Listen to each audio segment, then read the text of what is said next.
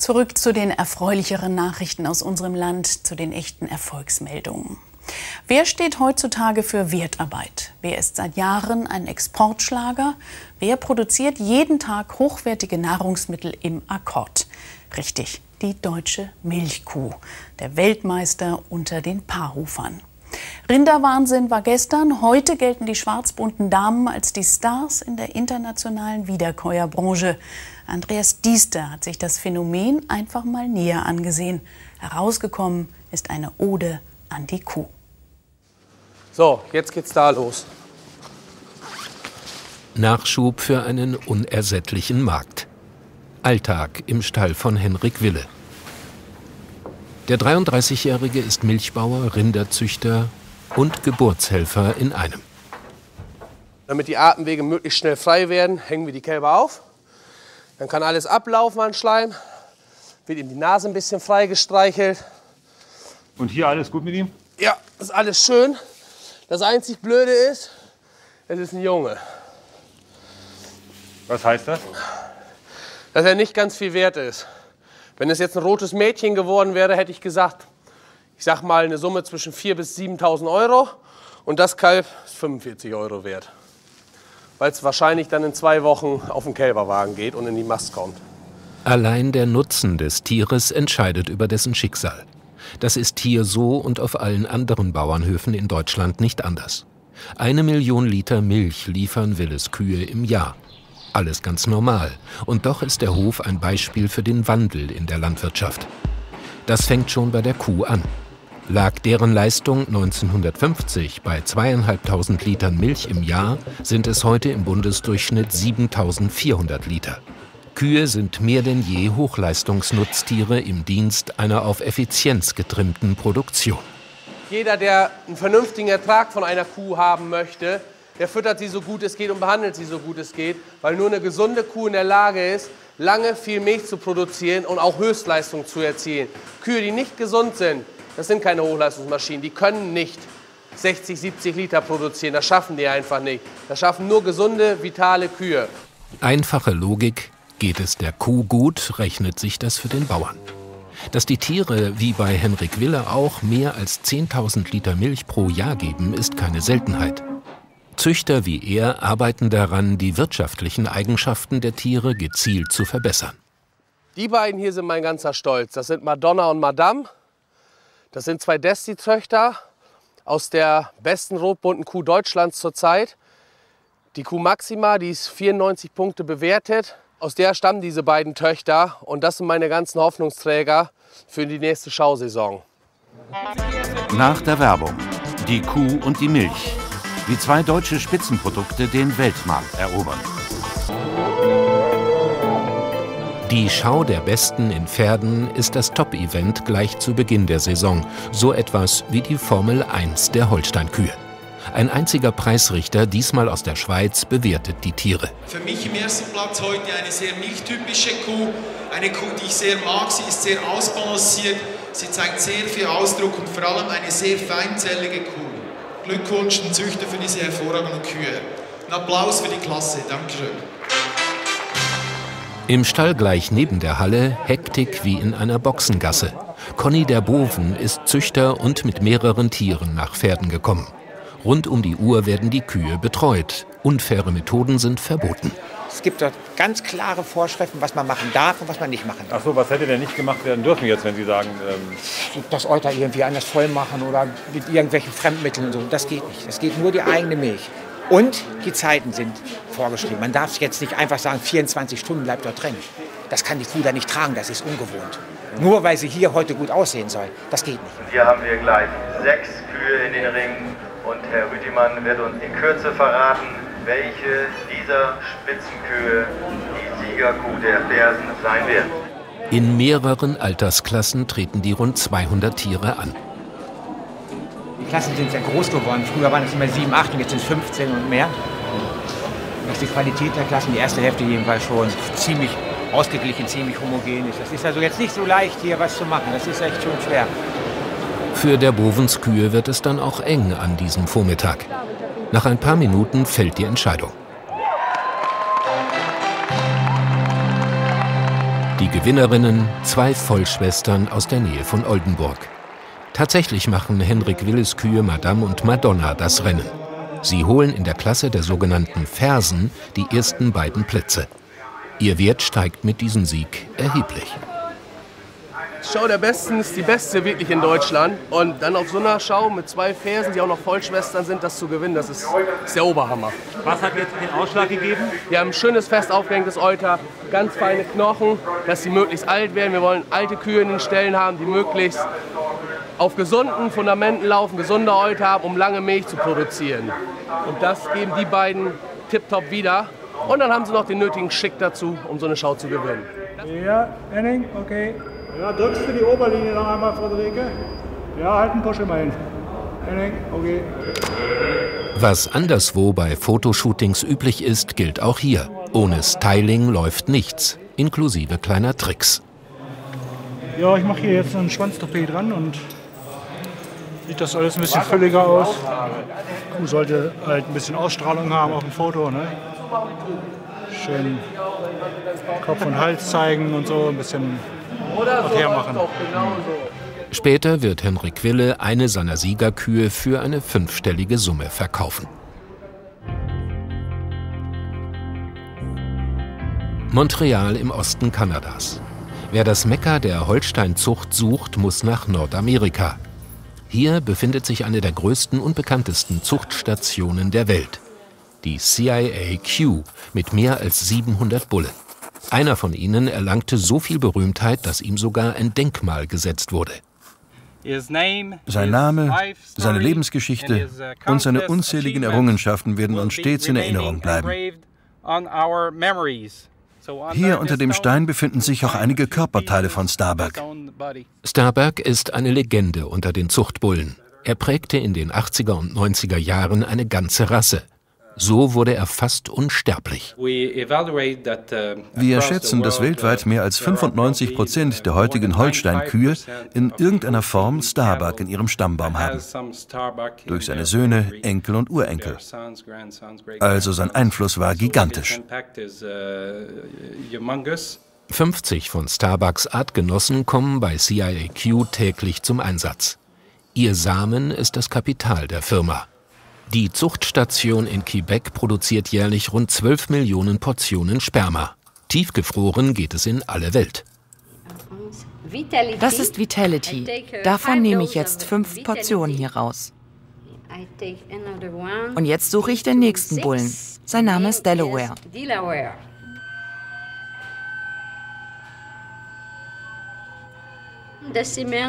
Das Sperma kann in diesen Behältern bis zu 50 Jahre aufbewahrt werden.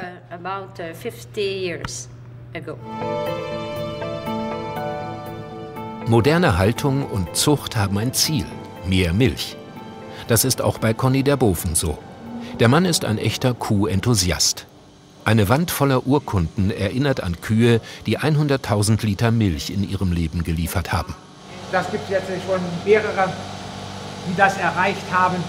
Und in diesem Moment möchte ich meinen, dass es uns eigentlich gelingt, dass jede dritte Kuh, die wir im Stall haben, dieses, diese Marke in Zukunft erreicht. Das ist nicht so, dass hohe Leistung gleich Qualzucht bedeuten. Denn hohe Leistung, Turbokühe werden ja häufig in Verbindung gebracht mit ja, Quälerei, mit Ausmergeln. Also eine Kuh soll so viel geben, wie sie fressen kann. Der Bovenskühe leben in geräumigen Ställen, Standard auf großen Höfen. Seiner Ansicht nach geht es den Tieren heute so gut wie nie zuvor, auch wenn die meisten von ihnen nicht mehr auf die Weide kommen. In modernen Ställen gibt es Liegebereiche und Laufflächen. Für die passende Temperatur sorgen offene Seitenwände. Man ist immer davon ausgegangen, wenn der Mensch sich wohl fühlt, dann fühlt sich auch die Kuh wohl. Das stimmt nicht. Das stimmt de facto nicht. Man muss man sich an der Kuh orientieren. Die Kuh fühlt 10, 15 Grad wärmer. Sie kann Wärme schlechter abgeben. Sie kann schlechter schwitzen als der Mensch.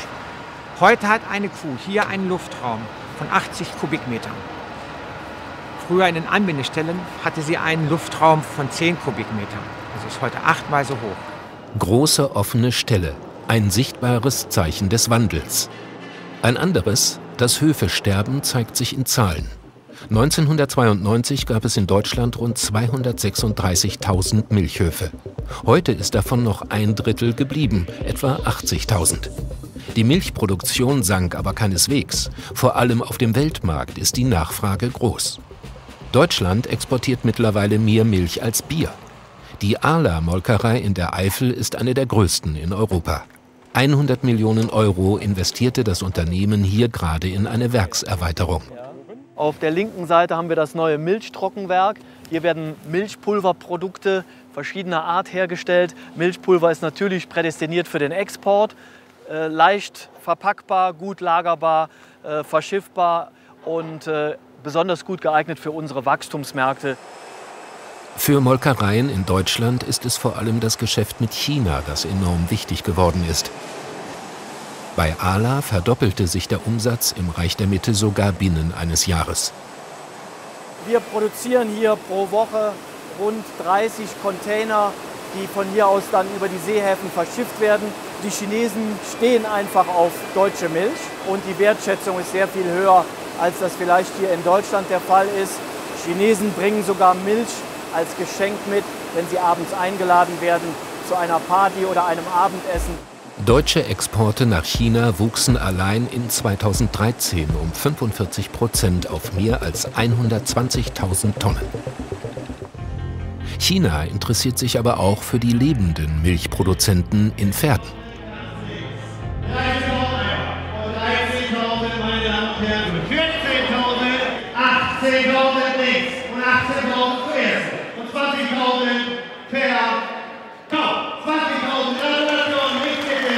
Elite-Auktion des Zuchtverbandes Masterrind. Rinder der gehobenen Klasse kommen unter den Hammer. Fünfstellige Preise. An diesem Abend keine Seltenheit. Wichtig ist, die, die Chance damit Geld verdienen zu können. Wir machen das ja nicht aus Hobby, sondern das hier ist auch ein knallhartes Geschäft. Im Moment ist der Markt sehr gut, weil die Milchpreise gut sind. Die Bauern oder Landwirte haben Geld, investieren. Und in Zuchtvieh wird immer investiert in aller Welt. Im Publikum in der niedersächsischen Provinz tierische Headhunter aus mehr als 30 Ländern.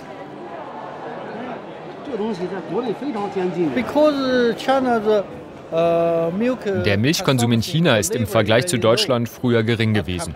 Doch unsere Wirtschaft wächst sehr schnell und mit ihr die Nachfrage nach Milch. Sie steigt rasant. Es ist wie eine Riesenwelle. Auch beim Rindererbgut gilt Made in Germany etwas. Mehr Milch dank deutscher Kuhgene sogar in Indien. Etwa 7000 Kilo beträgt die Milchmenge bei mir im Jahr pro Kuh. Das konnte ich nur dadurch schaffen, dass ich Sperma und Embryonen von hier importiert habe. Die daraus entstandene Generation macht 7000 Kilo. Mein älterer Bestand kommt nur auf 4000 Kilo im Jahr. Eines der angebotenen Zuchttiere heißt Galaxy und hat Vorfahren aus Nordamerika. Sein Besitzer Mark Bönninghoff hofft auf einen guten Preis. Vom Körper bin ich eigentlich ganz zufrieden mit diesem Tier. Das Tier hat ein bisschen mehr Winkel im Bein als erwünscht. Das ist alles in Ordnung, aber die Käufer gucken halt auf Nuancen bei solchen Auktionen. Und unsere ist vielleicht auch vom Zuchtwert nicht ganz die höchste und deswegen wird das sicherlich auch kein Höchstpreis werden. Womit rechnen Sie? Also zufrieden wäre ich ab, ab 3.500 wäre ich zufrieden, ja. Im Rampenlicht zählen jetzt wieder Genetikpunkte und Zuchtwerte. MB Layla, eine Galaxy, ganz frühe Galaxy 144 ESRG, super Kuhfamilie. Auf geht's, meine Damen und Herren, mit 2000 Euro. Zweieinhalb hier links und zweieinhalb und 5000 einmal, 5500. 5500 fair. Wir wollten dreieinhalbtausend haben, haben fünfeinhalbtausend bekommen. Doch, ist gut. Hey, gibt bessere Tiere, ich wusste das vorher, aber fünfeinhalb ist super. Mark Bönninghoffs Hof ist so groß, dass ein Rad für die täglichen Wege Sinn macht. Bönninghoff hat sich für Wachstum entschieden und liegt damit voll im Trend. Anfang der 90er Jahre hatten die Bauern im Mittel 22 Milchkühe. Heute sind es durchschnittlich 52 Tiere pro Betrieb. Aus dem elterlichen Hof hat Bönninghoff ein Unternehmen mit insgesamt über 1000 Rindern gemacht. Vielleicht erschlägt es einen, wenn man so das erste Mal in so einem Stall ist, aber wir arbeiten eigentlich, denke ich, ganz gut nach System. Für uns war es sicherlich auch eine Umstellung, von 90 auf 400 Kühe zu wachsen. Aber der Preisdruck steigt ständig, weil es ist nun mal so, dass der Verbraucher will für mich nicht viel ausgeben. Also müssen die Produktionskosten sinken. Und in größeren Stellen hat man bessere Produktionskosten als in, in kleineren Stellen. Dass Kühe trächtig werden, ist entscheidend für Landwirte. Ohne Kälber keine Milch. Drei bis vier bekommt eine Kuh im Schnitt im Leben. Dann wird sie aussortiert. Am Nachmittag ist Nummer 97 mit der künstlichen Befruchtung dran. Den Zufällen der Natur überlässt man eher wenig bei der Nutztierfortpflanzung. Die Masterrind-Zuchtstation in Pferden ist die größte für Holsteinrinder in Deutschland. Mehr als 400 Bullen dienen dem Unternehmen als Spermalieferanten. Das ist ein guter, der hat einen guten Zuchtwert. Die Töchter sind, sehen auch sehr gut aus. Und dadurch, dadurch nehmen die Bauern ihn auch sehr gerne. Und der wird auch viel versamt. Und deswegen müssen wir auch sehen, dass wir so viel wie möglich da auch rauskriegen. Unmittelbar nach der Gewinnung wird das Bullensperma auf seine Qualität hin überprüft. Mindestens 70 Prozent der Spermien müssen vital sein, um in den Verkauf gehen zu können. Die Samenzellen sind schnell, sie sind zielgerichtet. Man sieht schon, wenn man mal eine einzelne Samenzelle verfolgt, dass sie doch ein Ziel hat. Sie, sie sucht, und das ist ja das, das Ziel der Übung, sie sollen ja die Eizelle finden, damit es auch zur Befruchtung kommen kann. Täglich werden bis zu 20.000 Portionen Sperma gewonnen. In jedem dieser Röhrchen 15 Millionen Samenzellen. Das neueste Werkzeug der Zucht ist die Genanalyse. Mit ihr kann die Qualität von Erbgut früher denn je beurteilt werden.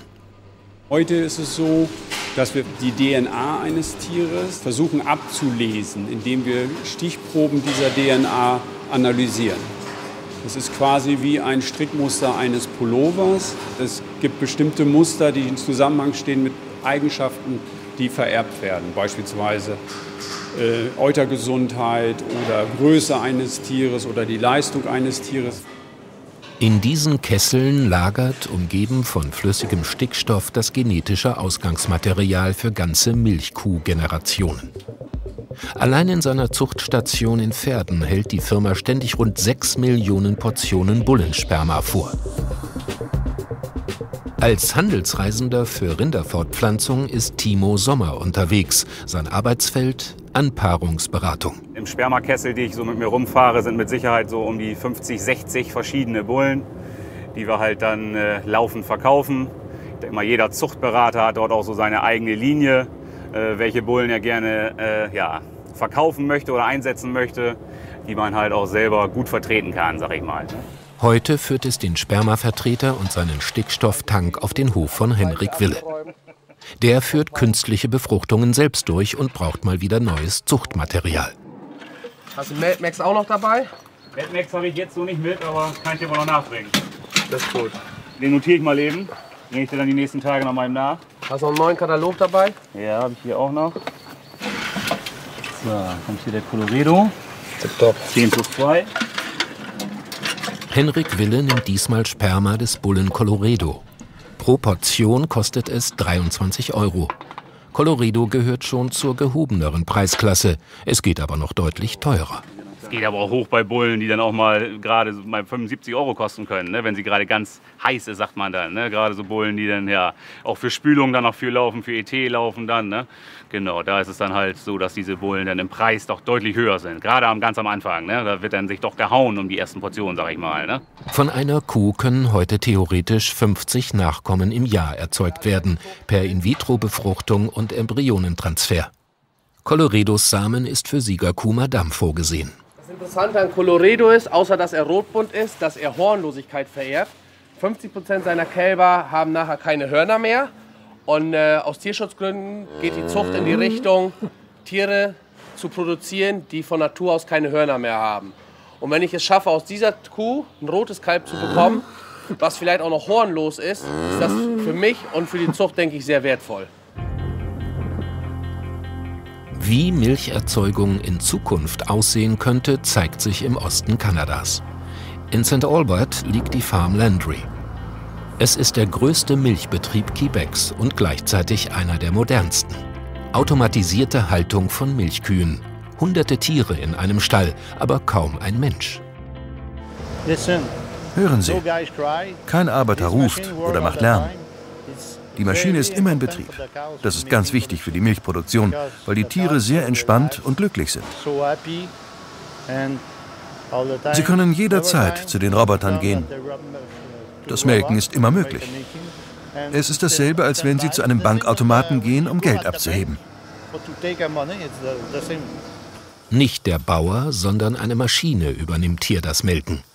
Die Landrys haben mehr als 20 Melkroboter im Einsatz. Alles läuft automatisch.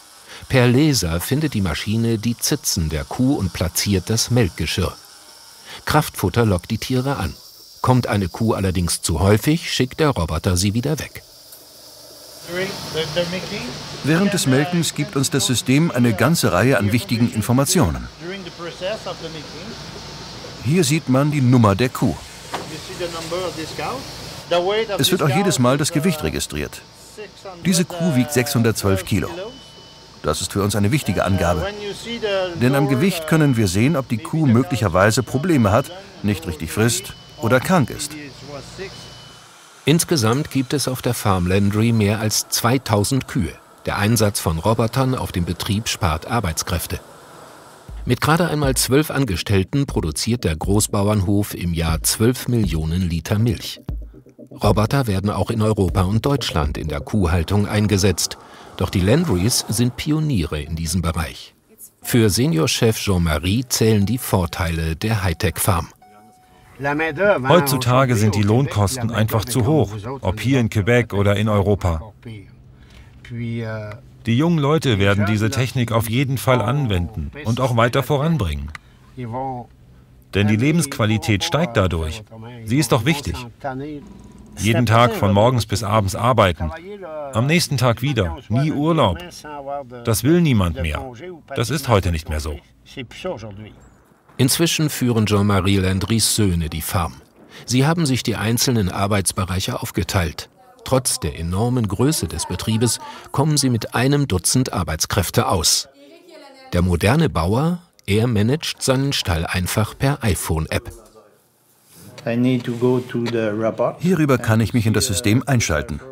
Dann sehe ich zum Beispiel, dass diese Kuh mit der nächsten Besamung dran ist. Die Aktivität des Tieres bei Tag und Nacht erkenne ich an diesen Kurven. Wenn ich nach Quebec fahre oder hier im Ort im Restaurant bin, nehme ich das iPhone und kann alles jederzeit checken. Und falls es nachts mal ein Problem beim Melken gibt, weckt das System den Bauern einfach per SMS. Zurück nach Deutschland, in die Nähe von Oldenburg auf den Hof von Henrik Wille. Melkroboter gibt es hier keine, aber einen lebenden Beweis dafür, dass es nicht immer nur um Gewinnmaximierung geht. Normalerweise werden die Kühe so fünf bis sechs Jahre alt im Schnitt, wenn überhaupt. Das hier ist eine kleine Ausnahme. Das ist die Kuh Natalie, die ist jetzt 20 Jahre alt. Sie darf immer im Stroh liegen, darf im Sommer auf die Weide und äh, wird deswegen noch gehalten, einfach weil, sie, weil wir so viel miteinander erlebt haben. Willes Kühe sind gerade mal 100 von 4 Millionen in Deutschland. Ein winziger Teil der großen Milchmaschinerie, Hightech, Tier und Mensch. Und das für ein oft unter Wert verkauftes Lebensmittel.